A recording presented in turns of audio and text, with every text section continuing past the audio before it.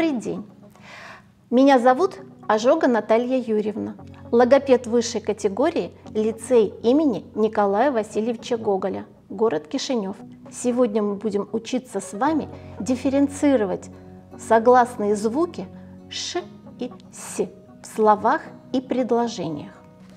Приготовь к уроку листок в клетку, тетрадь, ручку, карандаш, резинку зеркала и хорошее настроение, внимание и смекалку. Постараюсь все понять и внимательно читать, звуки с буквами пришли и порядок навели. Чтобы лучше говорить, нужно с пальцами дружить. Будем пальцы загибать и движения выполнять. Выполняем пальчиковую артикуляционную гимнастику. Первое упражнение – очки. Большой палец правой и левой руки соединяем с остальными пальцами и подносим глазам.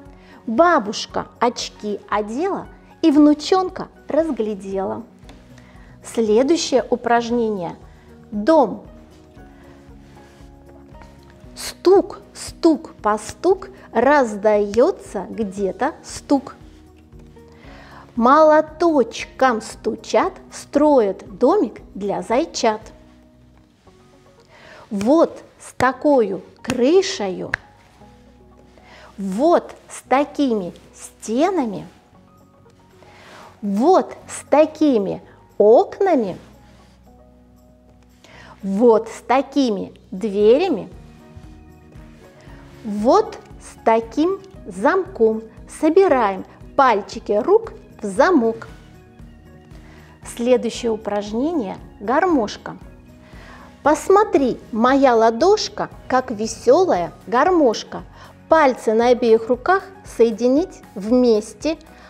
Пальчики я раздвигаю, а потом опять сдвигаю. Широко раздвинуть пальцы на обеих руках. На этом наша пальчиковая гимнастика закончена. Чтобы определить первый звук нашего занятия, выполним графический диктант. Возьми листок в клетку и карандаш. Отступи три клеточки слева и 8 клеточек сверху. Поставь контрольную точку. Начинаем графический диктант.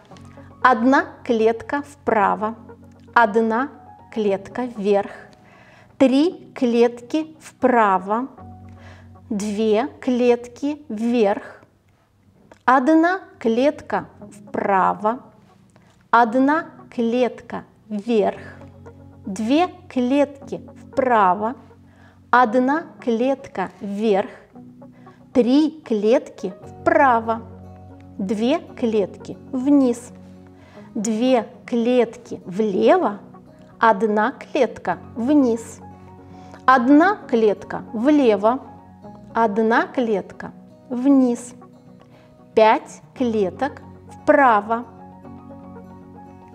одна клетка вниз, три клетки влево, одна клетка вниз, девять клеток влево, одна клетка вверх. На что похож рисунок? Это птица. Птица – синица.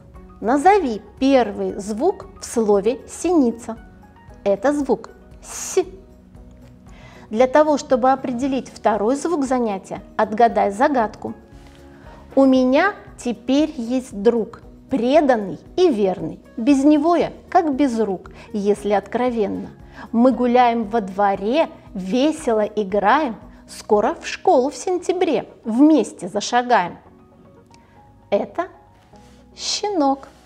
Назови первый звук в слове щенок. Это звук щ.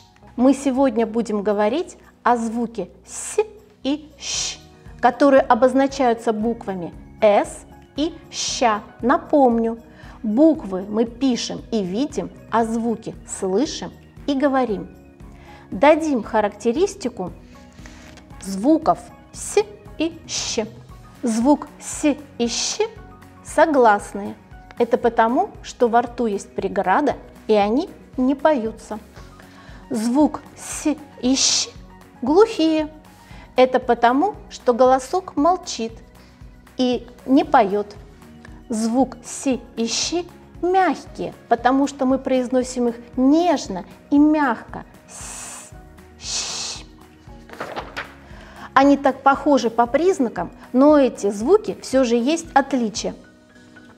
С – свистящий, с, щ – шипящий, щ.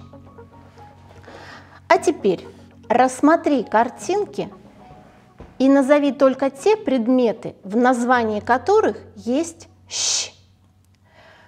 Ты видишь щуку, сирень, лось, поросята, щенок, синица, лещ, велосипед, ящерица, гусь, щегол. Проверь себя.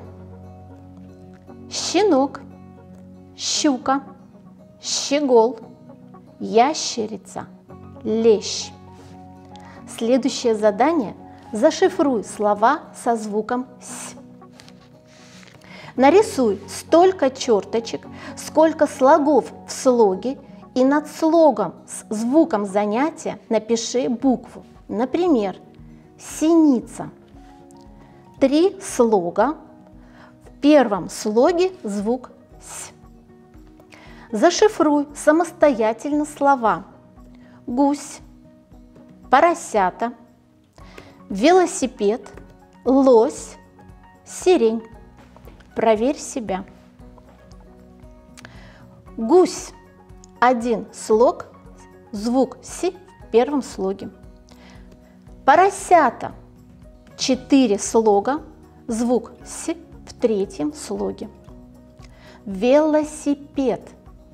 Четыре слога, звук «с» третьем слоге. Сирень. Два слога, звук «с» в первом слоге. Лось. Один слог, звук «с» в первом слоге. Молодец. А теперь попробуем образовать новые слова. Рассмотри картинки и прочитай со мной слова. Пасека, часы, камень, касса, косилка, стекло. Найди для каждого предмета название профессии, в которой он используется. Например, пасека – пасечник. Ставь в слово дежурный звук занятия. В слове «пасечник» буква «С». Проверь себя. Часы – часовщик. Вставляем букву «щ». Камень – каменщик. Вставляем букву «щ». Касса – кассир. Вставляем удвоенную «с». Косилка – косильщик. Вставляем «с» и «щ». Стекло – стекольщик. Вставляем согласную «щ». Сегодня у нас на занятии еще один сказочный герой. Его зовут Кощей. Назови букву занятия, которая есть в его имени. Это буква «щ», звук «щ». Кощей построил стену и спрятал за ней кого-то. Разбери стену, составив словосочетание со словами из первого столбика, и узнаешь имя другого героя сказки – Проверь себя. Словосочетание. Каменная стена. Шелковый плащ. Железная косилка. Металлические клещи. Деревянный ящик. Кожаное седло. Шерстяные вещи. Как зовут героиню этой сказки? Ее зовут Василиса Прекрасная. Назови звук занятия в ее имени. Звук С. Василиса Прекрасная не только прекрасная, но и премудрая, поэтому она любит загадывать загадки. Отгадай ее загадки, Вставь пропущенные слова в предложение из предложенных рядом. Проверь себя.